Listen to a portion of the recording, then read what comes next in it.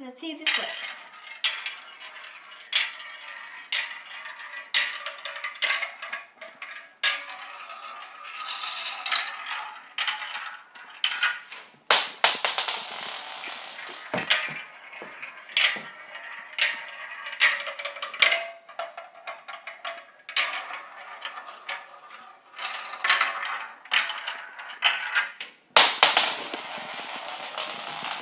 As you can see, we're going to do something with marbles.